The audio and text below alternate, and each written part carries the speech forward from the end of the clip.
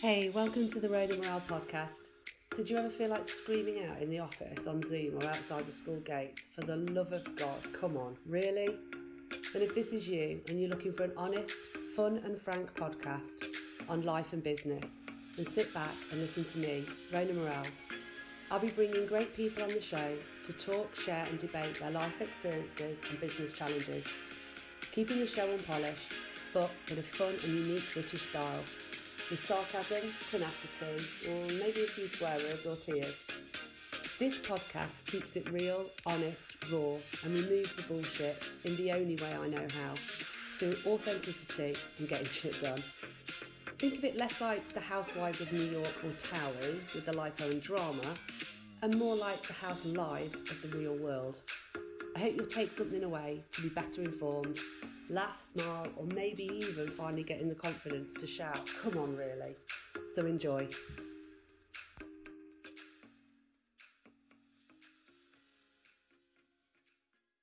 Hi, Alan. Welcome to the Rhona Morrell podcast. How are you?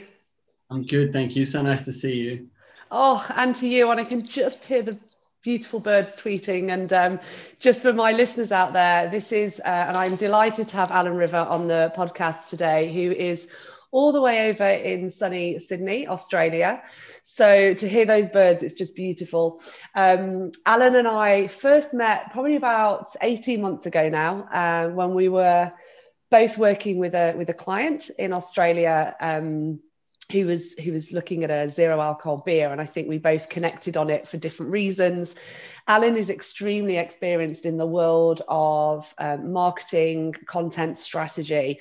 But one of the things that i've really connected with alan with over the you know over this time and what we're going to talk about is his power and knowledge of all things purpose and presence. And as i've got older and understood the importance of it and the value of it i just wanted to bring that to the to the listeners so Alan has also extensively travelled. Um, so a bit like me, he absolutely has that that that book, um, book, book. But that does lead me on to one of the things that Alan, that wasn't deliberate, that was a genuine mistake, um, has you know kind of led into this book that you are writing, and we'll we'll touch on that as well later. So Alan, massive thank you for joining me. Welcome to the show and yeah, let's dive straight in with your experience of you know, Nepal, monasteries in China, and what drives you for purpose and presence? Wow, that's a nice big question to start off with. Um, no pressure. oh, look, I think um, I think actually, kind of, if I bring it right back to here, the thing that that, that really brings so much joy and so much you know peace and and and fulfillment to my life is is just is just finding the little drops of magic in each moment. You know we quite often it's funny when we sort of tell our life story or even if we just go talking about stories or going looking for stuff we look for the big stuff. Yeah. And sometimes that kind of you know kind of gets us missing some of the really really beautiful things that are just happening in front of us, beside us at any moment in time. And so for me, like this is that's why presence I find is is so alluring and so enriching, is because when we're truly present with someone, we're right here in this moment. And so this is the magic. And actually it's a huge part of for me my experience of what our purpose is. Our yeah. purpose is on a human level to bring as much love as possible to the life that we live. And love has so many expressions. You know, that can be sharing, like, you know, your love with your beautiful children, as I know you do, or, or, or, or our partners. It can be finding the stuff that really fills our cup and feeds us in life, the stuff we really love. Yeah. Um, and all of these things, you know, when we're when we're truly in the moment, we're there. You know, we're in real connection with people when we're in work, we're at the most, we're in the most kind of potent state that we can be in. Because when we're present in work, we're not distracted. We're not in some past conversation or meeting. We're not in a future goal or, you know, a story of stress or anxiety about something that's coming up. We're bringing all of our capability, all of our experience, our understanding, our passion, our energy for this task or this conversation, this presentation, this thought of you know how do we create a solution right now? Yeah. So in in relationship it's our most enriching place it's our most potent place in work. And then in life it's the place that helps us kind of tap back into things like our intuition or other cultures you know have different words for it you know your gut you know yeah. sense feeling inner voice all these sorts of things. But it helps us kind of come back to who we are and begin to remember and live the life that we truly want to live not the one that we think is expected of us. And that's a really interesting kind of my mind's whirling now. So when you when you say the word um, your potent self in in work i guess i everyone can massively relate to i'm running late for the meeting i've got these massive deadlines um, god this is going to be just a waste of my time this hour.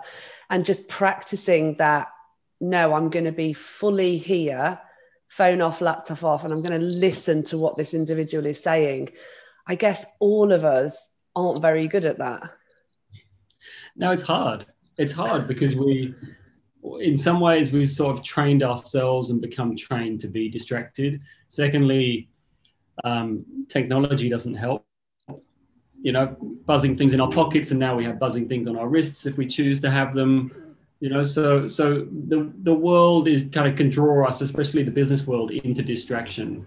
Um, and but it's not our most optimum state. It's actually a real suboptimum state you know in terms of learning and creativity and empathy and engagement and all these things. That, that actually is what you know when you're in work there's the kind of things that you're striving for.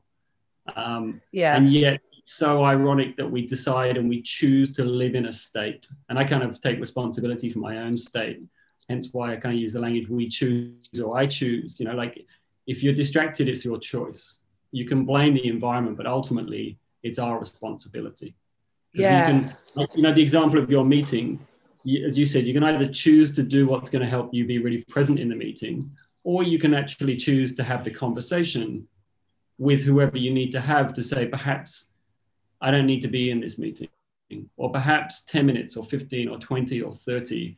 And again, everyone's got their own, you know, someone might feel they can't do that right now. So allowing this to happen over time is also kind of helpful for you. So you might need to have three or four conversations with your boss for that to happen. Just, you know, plant the seed and lower your expectations around it. But the experience of presence is a lifelong journey. It's not something that you snap into tomorrow. It's just like I see it so much like physical exercise and getting fit. Yeah. It's like in two ways. One is our level of presence grows as we practice. It's like each time you practice, another drop of presence or your, your capability to become presence grows within inside you. And it's like yeah. it's in a you're just growing that well. That, that initially, when you start practicing, you normally access it in the practices, but then it starts to flow out into the other aspects of your life, into relationships, into work, into every moment. You're walking down the street and you're suddenly, you know, you see, you're just present, you see this bead of light, or, or you hear, you know, the you know a bee just buzzing in the in the flowers, and you just you know captivated for a moment.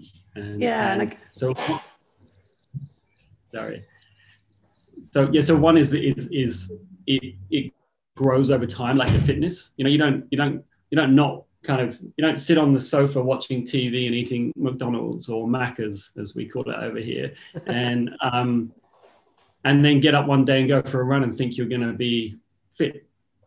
We it like to think we can but we can't. Can, yeah and it's, it's the same with it's the same with presence and the other thing like exercise is there's so many different practices that yeah. you, it's really important to find the let's just like exercise find the ones that really work for you in your life stage right now. So a lot of people I, I work with talk about you know like immediately go to meditation. And meditation is an amazing and there's thousands of different forms of meditation but it doesn't necessarily work for everyone because of their you know their, their perception of what meditation is at that point in time. See, so but there's other stuff that's really simple really simple that you can do. Well, okay, so then maybe you can help me because when it comes to meditation, mm. I am not negative about meditation at all, and I firmly believe in the powers that it can yield. However, oh my God, I just can't do it. I, I cannot.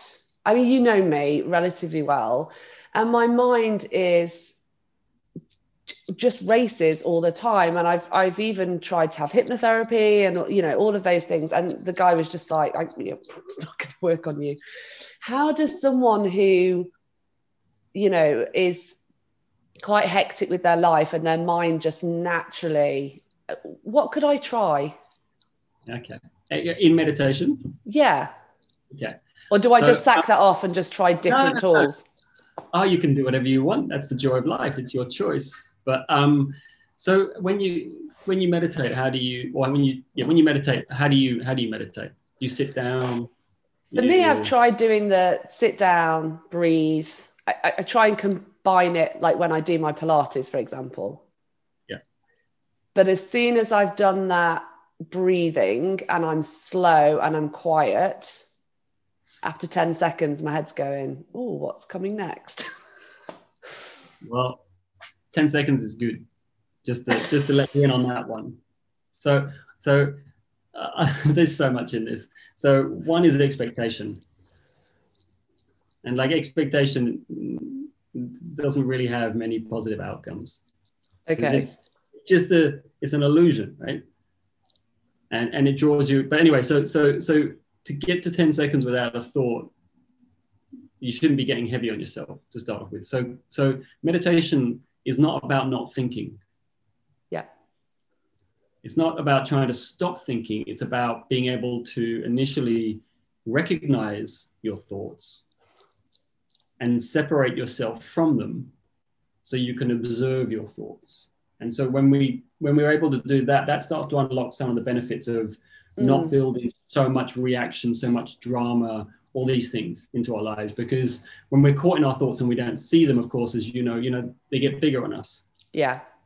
And when you can see them for what they are and you can go ah oh, there's my mind being creative again. It's such a great storyteller you know? And, and just like ah, you know thanks for that one. Not going to believe it or, or whatever it is.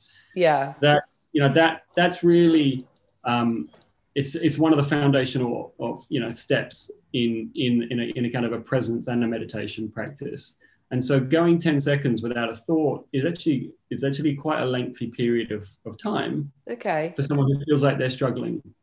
And so what you might want to do is when the thought comes up just recognize it and go there's a thought because it's not you right? When you when you say there's a thought you're already creating some distance between it and then there's a, so many different ways of of approaching it. But you know, one of the things you can do is to almost kind of watch the thought float through you.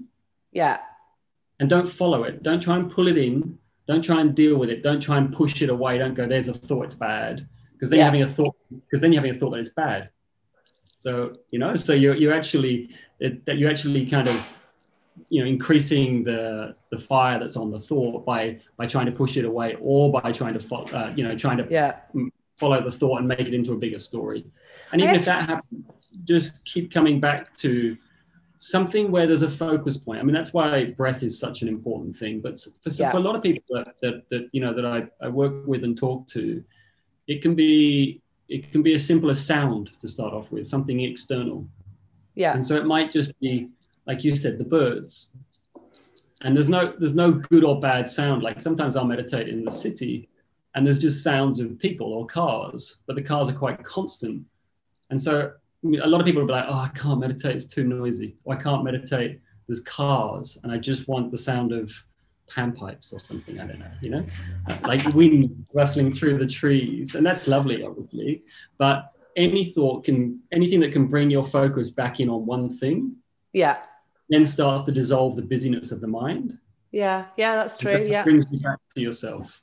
It's funny actually because sometimes you know you do lie there in bed and you put your head down and you start thinking about a thing, and then by mm-hmm. the time it's done this journey, you get to the end and you go, "How the hell did I get there?" It's a bit like sometimes when you drive and you get in the car and you think, "How have I got to my destination? I don't remember getting here."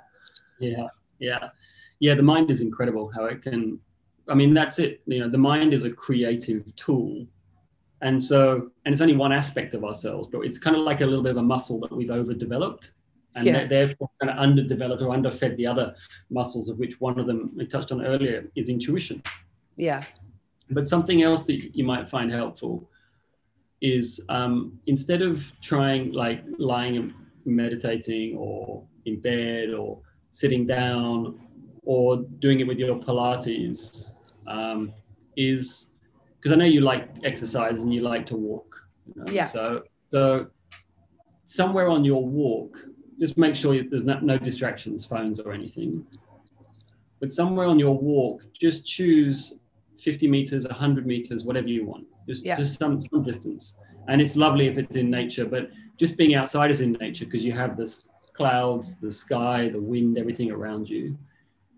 And then as you're walking, just walk slower than you've ever walked before.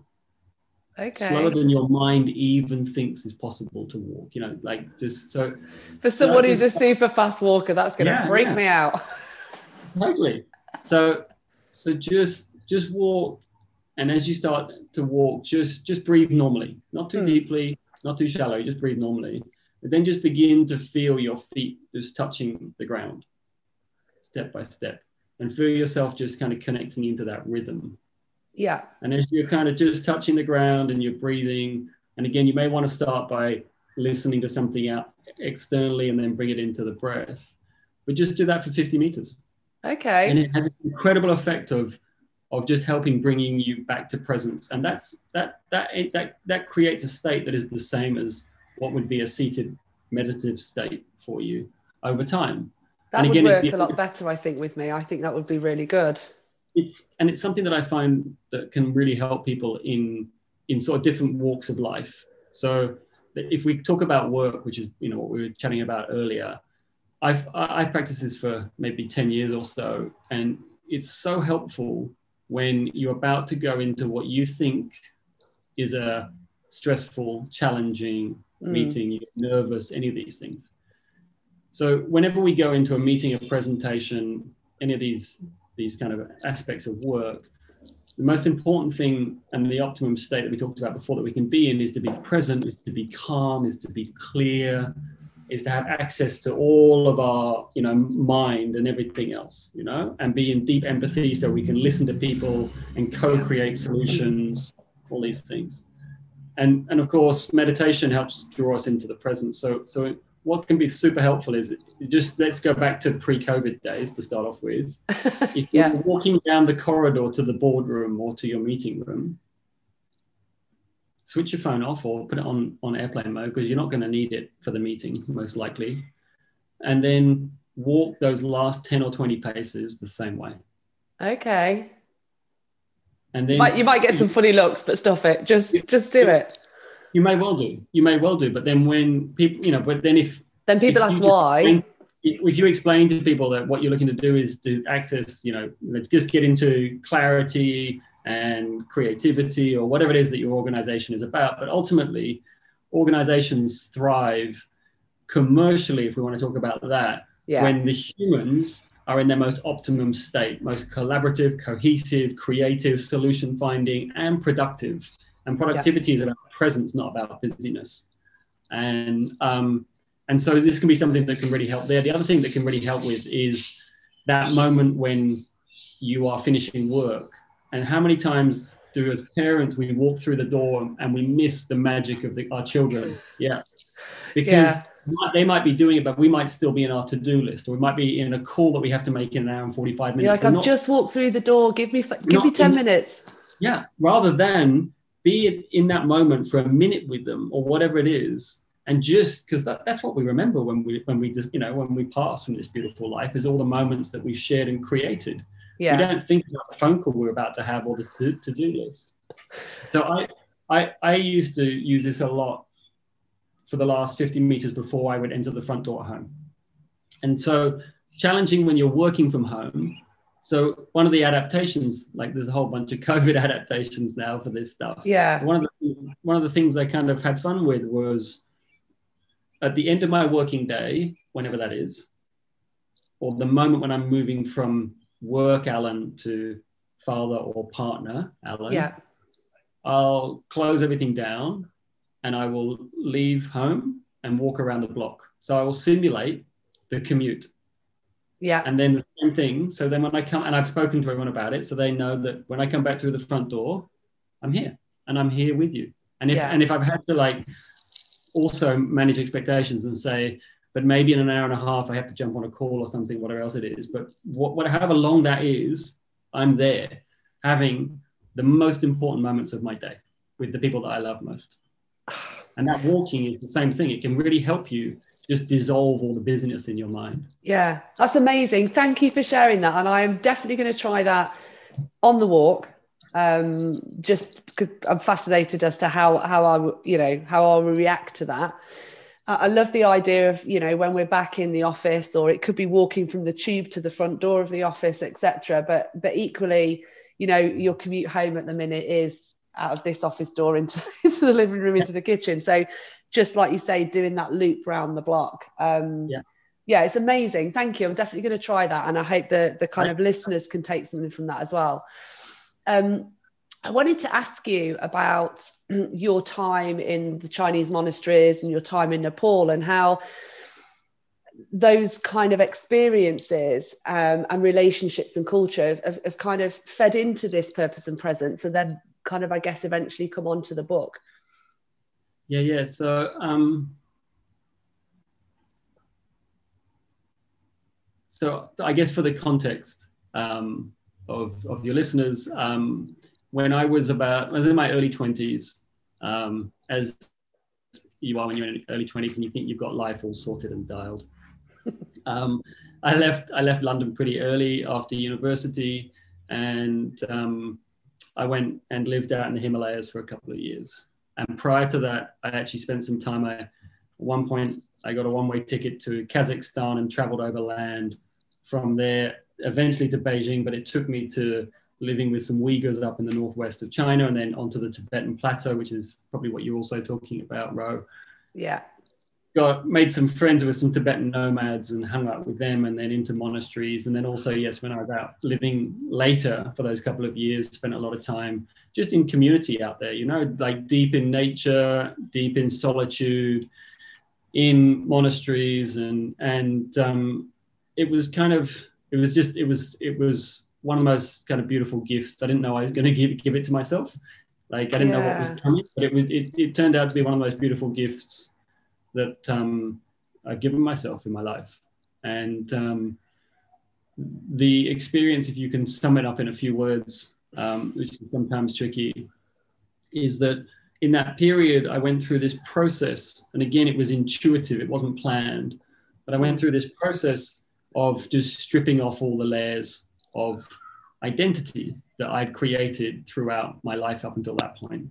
This, you know, the sporting identity, the da da the mate, the da, all this kind of stuff. You know, social identities, all these things, which is what we tend to go about growing. Yeah. And um, and I realized that um, through experience and also through learning um, when I was out there that, but mainly through experience, was that those identities weren't bringing me really deep joy. It would Yeah. bring me a lot of temporary happiness and buzz and highs and you know all these kind of things. But but I yeah, it it it, it was the kind of early learning ground through experience of what presence is and like an amazing place to be surrounded you know by the incredible nature in the himalayas but also obviously the culture out there and in the monasteries just being able to Yeah. like i guess the monks if you were like a um if you were like a ironman runner and uh, in the 20s you got to go and hang out with some amazing personal trainer that taught you all the tricks and stuff that was kind of the equivalent in exercise for presence and for meditation just to sit and and and sometimes for weeks Wow. And you know what? I do wonder, you know, I look at the the culture and, and I have to say, I've never been to Tibet, but it's it, it is on my hit list and I am going come hell or high water. Um, it makes me wonder about the influence of knowing the simplicity of of that at such a young age that the children are growing up learning it whereas at the minute it's all about memory exams go to university get a job we don't give them those base Mm. skill sets and i do wonder if if we did that more across the world um Mm. how much more balanced it could be uh, yeah, yeah, yeah. I'm I'm with you. Obviously, I'm slightly biased,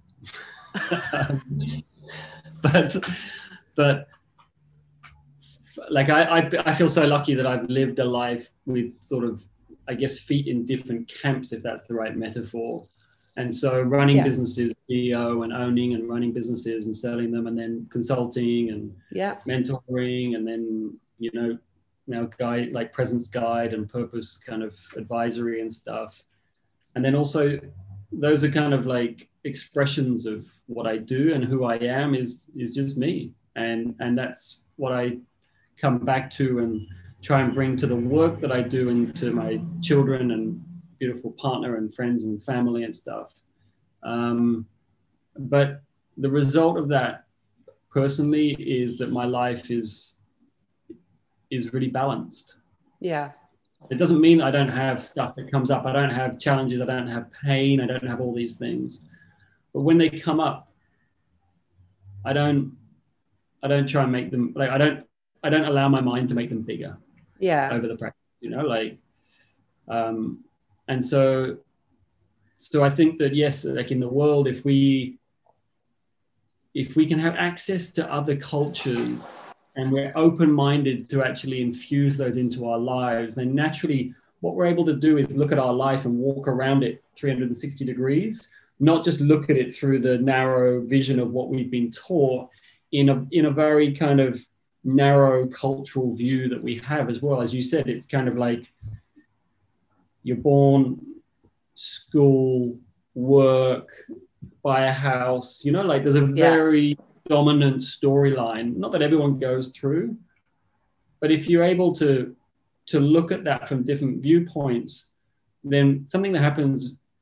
I I I I kind of experienced was you get to see the good in it, not just you don't go like all the way to the other extreme and say, oh, that's all bad, and then you know, like no. throw a stone system and everything. It's like inherently everything is as it is. And so what you can then start to do is choose how you are in all those different systems in life and what your relationship is with them rather than be lost yeah. you know in the flow of that of that very strong current and river that is kind of the you know the western culture but i think consumer, it, yeah and i think it relies on the fact that i guess you you made a choice. When you came out of university you went and did those things.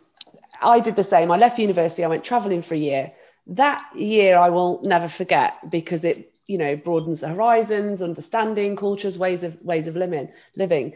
And, and that's why i just think that's that will only people will only experience that if they then go off and do that. So I, I just feel like we need more of that as part of the curriculum. I'm not saying ditch the mm. curriculum but no, no. where's where's the kind of you know DT of life skills and um, yeah. uh, personal awareness and and and um, mind health and things like that. So I just think we don't give them the skills to early enough to give them that bug. And like you say, the more you, the earlier you start and the more you practice, the better you mm. become at it. Yeah, there's definitely cases I've seen over here. Um, where, for example, mindfulness, if you call that as the broad hmm. area, mm. um, has been brought into curriculum, um, oh, which great. is great. There's another thing that's fantastic, um, and still, you know, it's very it's hard to generalize because different schools take it differently, but also it's a step by step. There'll always be someone that will say that there should be more of it, and yeah. and absolutely, yeah. you know, there may well be, but it's what. So we've got we've got some early steps of mindfulness coming into the curriculum.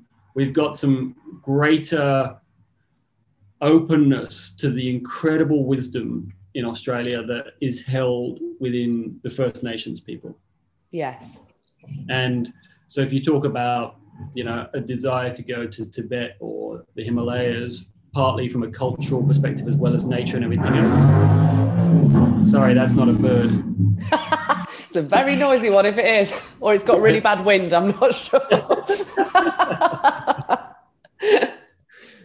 um, but all this is coming in is is, is yeah. growing in in a very traditional curriculum still but yeah. there's like little drops of positivity and yeah i hope that that keeps growing because i think the more that people have access to it then the more expanded our minds become, and therefore we can make decisions from different viewpoints and different angles. No, absolutely. And I can only hope that the more people, I guess the world becomes smaller, but I guess something like COVID, I, I hope will will trigger more mindfulness in people. And I think I, you know, I've heard so many people say this has made me realize what's important and what matters. And I guess just like anything, it's a shame that something bad has to happen. Or my dad had a heart attack, or my best friend had cancer before I really understood it or took time to, to appreciate mm. it on life. So I'm hoping, in a way, COVID gives the the world that chance to pause, breathe, reflect. Um, and anyone, you know, anyone listening to this, I hope that you know some of the techniques can work on adults, can work on children, and can maybe think about exploring it a little bit, a little bit more. Um, I wanted to go on a little bit in terms of how what what kind of triggered you to go into this work uh, obviously you're a speaker you're a mentor um, and of course the listeners if anyone wants to reach out please please do search um, Alan Riva um, what sparked the the book so i for the listeners I, I had the privilege of having a little sneak peek at it um, a while back and i read it with my daughters. Tell us a little bit about how that came about and what it's about. Right. Um, so it's called it's called the jar of dreams and um, so how it came about was one night i was up in the himalayas and we were um, on this, I was with some local friends and we'd gone off on this fun, slightly crazy adventure of a kind of a trek climb, all sorts of stuff. And um, I was sleeping under this amazing glacier called Namik, and it just it just was cracking and groaning. Like I don't know if you've ever been near a glacier or under a glacier nearby, just vibrates through you. Yeah. Anyway, I fell asleep, and then um, I woke up at some some point in the night, middle of the night, and I'd had this dream. And so I grabbed my head torch and got a piece of paper and pen because I, or pencil. Pens, you know, not so reliable at that altitude. And um, so I was waiting for the motorbike, and um, and I scribbled it down. And the, the dream was the story of the book. And wow. um, and the book is about the book is about um, rediscovering and living your highest dreams. But um, maybe if I tell the the dream, it's kind of the synopsis at the same time. So yeah, the, the, the dream that I had is about this little boy called Ashu. He's uh, 12 years old and he lives in this great slum city called Shabdikosh with his mama and his baby sister Alia, who he adores. And Ashu wakes up one morning and he's got this uncomfortable weight, this feeling in his stomach, and he, he doesn't understand it. He can't place it because he's mm. he's never had it before. So he goes off on his morning chores and and uh, picks up the curd and a few other things. And then on his way home down a back street, he's confronted by Malakim, who's this dark jinn, this spirit, this dark spirit. And Ashu's frozen in fear in front of Malakim. And in that moment, Ashu realizes that Malakim came into his sleep the night before and stole his dreams and replace them with this dark mist of fear and doubt. And mm. Anyway, Malakim disappears and Ashu can't find him. And so he goes back home and he tries to get on with life because he's also the main provider for the family because Papa died a few years before. Yeah. And so he goes back to work and he tries to get on with things and convince himself that everything's okay. But the weight gets heavier and heavier inside him. And so a few things happen. Won't give away too much. And eventually he um, he makes the big decision to leave Mama and Alia and go in search of Malakim to get his dreams back. So he goes off on this adventure through these mystical lands and has all these experiences. And yeah. uh, and the rest is in the the book to be read. So uh, yeah, that's but it's it, it's a story. It's it's what's called an allegorical fiction or novel, and so it has this life journey underneath. Yeah uh, which is about yeah stepping through your fears and living your highest dreams and all the lessons along the way. And then on the surface, it's this yeah it's this amazing series of worlds that Ashu travels through and Yeah. the characters meet on the way and all of these things. So it's been wow, it's been such a beautiful experience to to, to write. Well, my experience of writing it was that I would wake up at 4:30, 5 o'clock every morning, and it would just be alive. And so it would, it would usually write itself through. I just sit down before I went to work Yeah. for a couple of hours and just allow it through. And to And then, uh, illustrate that as well, I mean, allowing that creativity element of those worlds and characters. And uh, I mean, it must have been amazing. Yeah, yeah, it really like it's. I can honestly say that I've had um, in the last sort of seven years of deep writing with it, Mm. big writing. I've had half an hour that that has not been just a dream, and that half an hour is actually a meeting that I had in London at some point, where I think it was Harper Collins were interested, and then I got a you know the old rejection email, Yeah. and uh, and I realized that I'd built an expectation up. So I was like, oh, best not do too much of those expectation things anymore. Just enjoy the fact that I'm putting it out into the world and, and see where it goes. But the writing, it's like I step through doorways into the world, and it's um, yeah, it's it's both a reflection of me, so it teaches me a lot. Yeah. book and Ashu and all the other characters, and at the same time, it's like this just this adventure that that, that I get to live because I, I feel like now in the editing process, which is Mm. different to the original writing process of you know the eighty thousand words, the editing process is like I step through the doorway, and I. So for characters, for example, I'll sit with them until like all the way back to their birth, even if they've only got a couple of lines, so that I've truly. Sometimes it will take two or three weeks, and I'll just sit as them. Yeah. So I'll inhabit them. And so I'll know how they are looking, feeling, reacting, the tone of their voice at any moment in the book. And the same thing with the worlds. I've sort of built this huge, this huge um, character Bible and world Bible that kind of just goes, you know, to the history of all the different worlds and stuff. And so it's actually, I haven't told you this, but it's actually spawned three three following. I had a feeling it would do, but I didn't know exactly. But there's three other books to follow, so four books in total that have been mapped out. And hey, forget the London dude who rejected it. We all know J.K. Rowling was rejected by every single publisher. Yeah. Um, Well, yeah, it's it's um, uh, it's yeah, it, it- but even even that, I've been so lucky in a lot of ways that even the people who saw it early on, and it's a like that that was four years ago, so it's a very different book now, especially in the last twelve months. That was a blessing of COVID, lots of writing time. yeah. Um, but um, they were always so kind in their feedback. It wasn't like the classic copy paste. This isn't not, not you know not great or not for us or whatever. Like I remember the first person. I can't even believe I sent the first version of the manuscript out, but it was to an it was to this incredible um, literary agency in in London, and they they sent me this response. And the owner of the literary agency um, got four editors, I think three or four of their editors to read it, and they like I printed out this this, and it was it was just like dripping in insight and help.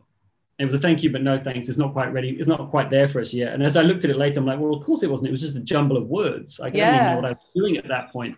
So all of these people, I'm so grateful for because they've actually helped me in the learning journey because it's very different to writing and then writing a novel right. and and and so I spent I spent seven years learning how to refine and craft a novel, and um, and so yeah, all of the so-called rejections have have always come with just incredible help along the way, and now kind of um, close, very close. There's three publishers who I can't mention right now.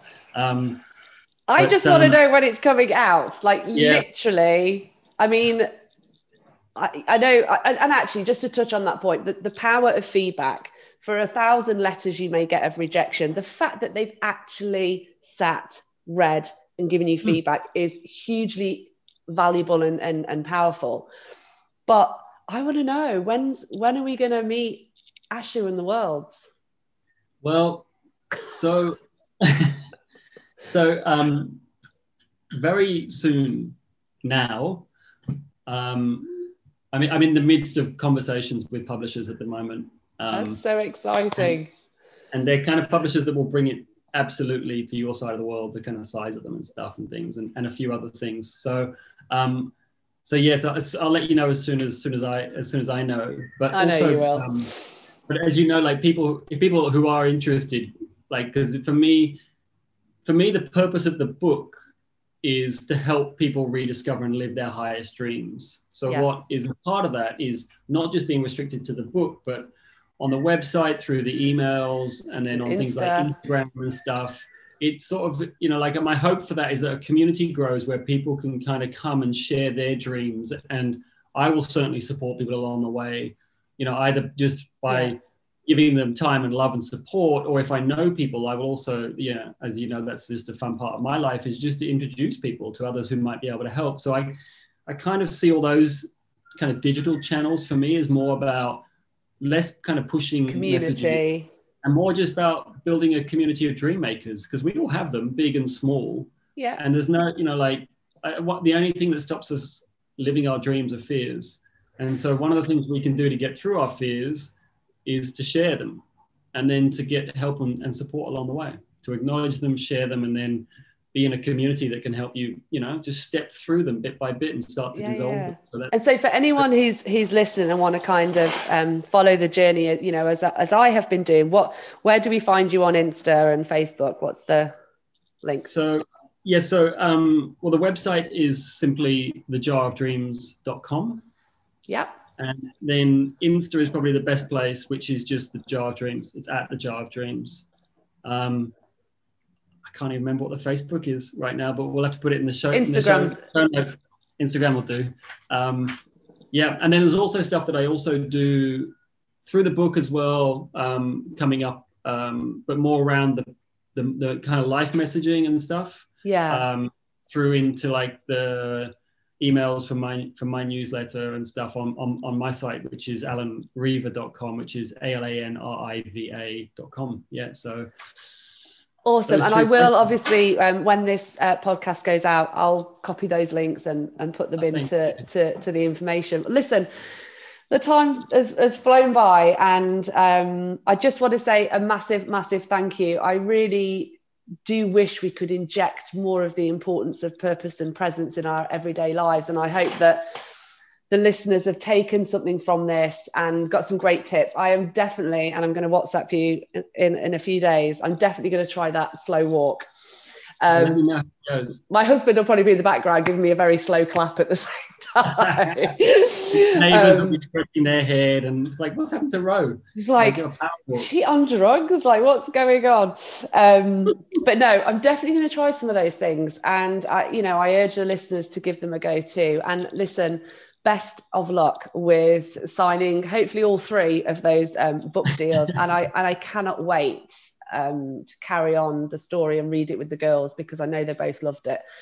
Um, as did I actually. It's and that's the thing actually. It's not just a kid's story. It's it's it touches me as as well as I guess like the Harry Potter books. You know, as an adult, you were gripped, and the kids loved it too. So I cannot Yeah. wait. I've noticed it's gone very dark where you are. Is it now night time? It's it, I should have probably thought about that and put a light on hadn't I but uh, yeah, only just in the last five minutes. Obviously, uh, you know, Alan's in Sydney, so he's like 11 hours ahead or something. So, um, 8, 8 p.m so the sun is just about to start setting yeah oh, listen, Alan, thank you so, so much. Genuinely, I'm thrilled to have you on. And um, yeah, I look forward to the episode coming out. yeah it's been so lovely to hang out and uh, let me know how you go with the walking I will do for sure. Thank you, Alan. Have a great evening. take care have a lovely day Bye. So that's it. You've made it. The show's over.